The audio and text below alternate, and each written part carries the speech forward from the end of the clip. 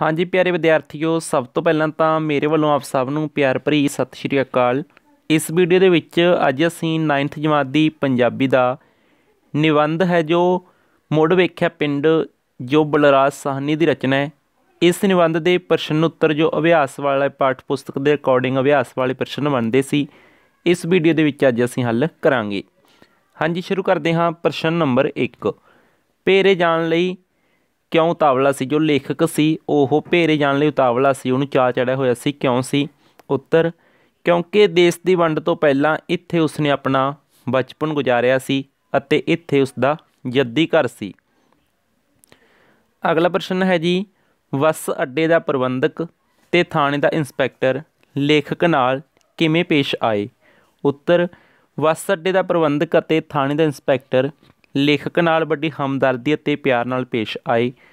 ਉਹਨਾਂ ਨੇ ਲੇਖਕ ਦੇ ਸੁੱਖ ਤੇ ਭਾਵਨਾਵਾਂ ਦਾ ਪੂਰਨ ਖਿਆਲ ਰੱਖਿਆ ਸੀ। ਜੋ ਇੰਸਪੈਕਟਰ ਸੀ ਥਾਣੇ ਦਾ, ਉਹਨੇ ਲੇਖਕ ਦੀ ਮਦਦ ਵੀ ਕੀਤੀ ਸੀ। ਠੀਕ ਹੈ, ਜਿਹੜੇ ਉਹਦੇ ਆਉਣ ਤੇ ਜਾਣ ਦਾ ਦੀ ਐਂਟਰੀ ਸੀ, ਉਹ ਇੱਕਦਮ ਕਰ ਦਿੱਤੀ ਸੀ ਤਾਂ ਕਿ ਉਹਨੂੰ ਦੁਬਾਰਾ ਤੋਂ ਥਾਣੇ ਨਾ ਆਣਾ ਪਵੇ।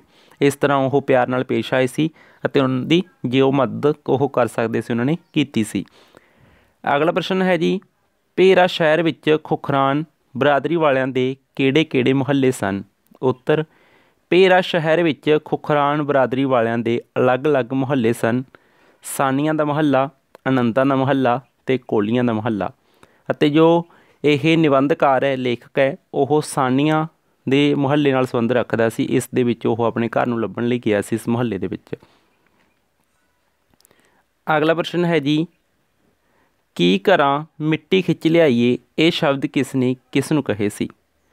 ਉੱਤਰ, ਇਹ ਸ਼ਬਦ ਮੁੜ ਵੇਖਿਆ ਪਿੰਡ ਲੇਖ ਵਿੱਚ ਬਲਰਾਜ ਸਾਨੀ ਜੋ ਇਸ ਨਿਬੰਧ ਦਾ ਲੇਖਕ ਹੈ। ਬਲਰਾਜ ਸਾਨੀ ਨੇ ਪੁੱਲੋਵਾਲ ਬੱਸ ਅੱਡੇ ਦੇ ਮੁੰਤਜ਼ਿਮ ਨੂੰ ਕਹੇ ਸੀ। ਸੋ ਇਸ ਤਰੀਕੇ ਨਾਲ ਇਹ ਦੱਸਣਾ ਸੀ ਇਸ ਨੇ ਵੀ ਇਹ ਕਿਸ ਨੇ ਕਹੇ ਸੀ। ਚਾਹੇ ਇੱਥੇ ਇਸ ਤਰ੍ਹਾਂ ਹੀ ਤੁਸੀਂ ਲਿਖ ਸਕਦੇ ਹੋ ਕਿ ਮੁੜ ਵੇਖਿਆ ਪਿੰਡ ਨਿਬੰਧ ਦੇ ਲੇਖਕ ਨੇ ਇਹ ਸ਼ਬਦ ਕਹੇ ਸੀ। ਠੀਕ ਹੈ ਜੀ? ਉੱਥੇ ਵੀ ਜੇਕਰ ਨਾਮ ਮੈਂਸ਼ਨ ਕਰਨਾ ਤਾਂ ਕਰ ਸਕਦੇ ਹੋ, ਵਧੀਆ ਗੱਲ ਹੈ। ਅਦਰਵਾਈਜ਼ ਡਾਇਰੈਕਟ ਲੇਖਕ ਵੀ ਤੁਸੀਂ ਲਿਖ ਦੋਗੇ ਤਾਂ ਵੀ ਸਹੀ ਹੋਏਗਾ ਪ੍ਰਸ਼ਨ ਅਗਲਾ ਪ੍ਰਸ਼ਨ ਹੈ ਜੀ, ਲੇਖਕ ਨੇ ਆਪਣੀ ਗਲੀ ਦਾ ਜੋ ਨਕਸ਼ਾ ਖਿੱਚਿਆ ਹੈ ਉਸ ਨੂੰ ਆਪਣੇ ਸ਼ਬਦਾਂ ਵਿੱਚ ਬਿਆਨ ਕਰੋ। ਉੱਤਰ, ਲੇਖਕ ਦੀ ਗਲੀ ਦੀ ਨੁੱਕਰ ਉੱਤੇ ਇੱਕ ਖੂਹ ਹੁੰਦਾ ਸੀ। ਵੰਡ ਤੋਂ ਪਹਿਲਾਂ ਖੂਹ ਦੇ ਸਾਹਮਣੇ ਉਸ ਦੇ ਚਾਚੇ ਦਾ ਘਰ ਸੀ। ਲੇਖਕ ਦੇ ਚਾਚੇ ਦੇ ਘਰ ਦਾ ਦਰਵਾਜ਼ਾ ਪੁਰਾਣੀ ਕਿਸਮ ਦਾ ਸੀ ਜਿਸ ਦੀ ਲੱਕੜ ਉੱਪਰ ਬਿਹਤਰੀਨ ਚੋਬਕਾਰੀ ਦਾ ਕੰਮ ਹੋਇਆ ਸੀ। ਉਹ ਇਸ ਨਕਸ਼ੇ ਨੂੰ ਖਿੱਚਣ ਦੀ ਕੋਸ਼ਿਸ਼ ਕਰ ਰਿਹਾ ਵੀ ਉਸ ਤਰ੍ਹਾਂ ਦੱਸ ਰਿਹਾ ਵੀ ਇਸ ਤਰ੍ਹਾਂ ਹੁੰਦਾ ਸੀ ਵੰਡ ਤੋਂ ਪਹਿਲਾਂ, ਠੀਕ ਹੈ? ਕਿਉਂਕਿ ਉਦੋਂ ਉਹ ਨਿਆਣਾ ਵੀ ਸੀ, ਤਾਂ ਉਹ ਚੀਜ਼ ਨੂੰ ਸ਼ਬਦਾਂ ਦੇ ਵਿੱਚ ਬਿਆਨ ਉਹ ਕਰ ਰਿਹਾ ਹੈ। ਅਗਲਾ ਪ੍ਰਸ਼ਨ ਹੈ ਜੀ, ਚੌਧਰੀ ਗੁਲਾਮ ਮੁਹੰਮਦ ਦਾ ਲੇਖਕ ਨਾਲ ਕੀ ਰਿਸ਼ਤਾ ਸੀ?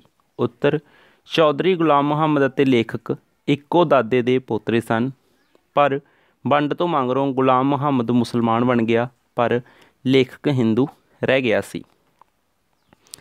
ਅਗਲਾ ਪ੍ਰਸ਼ਨ ਹੈ ਜੀ ਆਪਣਾ ਘਰ ਵੇਖ ਕੇ ਲੇਖਕ ਆਪਾ ਕਿਉਂ ਖੋ ਬੈਠਾ? ਉੱਤਰ, ਕਿਉਂਕਿ ਉਸ ਨਾਲ ਉਸ ਦੇ ਬਚਪਨ ਦੀਆਂ ਯਾਦਾਂ ਜੁੜੀਆਂ ਸਨ।